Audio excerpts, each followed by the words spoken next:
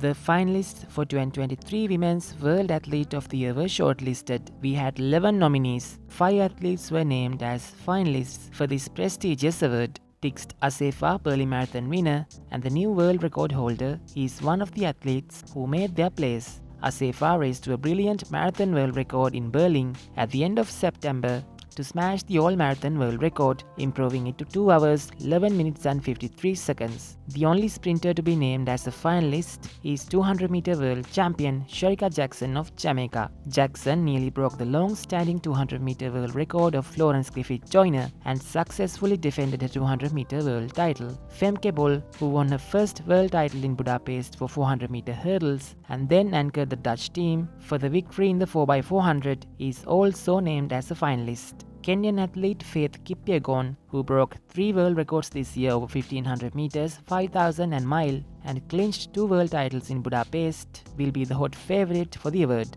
Along with the Kenyan, we have the triple jump world and Diamond League champion Yulimar Rojas of Venezuela as the fifth and final finalist. Athletes who missed out from making the final are Sha'Carri Richardson, Winfred Yavi, Gudaf Tsegay, Maria Perez, Yaroslava Mahuchikh, and Haruka Kitaguchi. The World Athletics Council and the World Athletics family cast their votes by email, while fans made their decisions online through the World Athletics social media platforms, where a record 2 million votes were registered. The World Athletes of the Year will be announced on World Athletics platforms on 11th of December.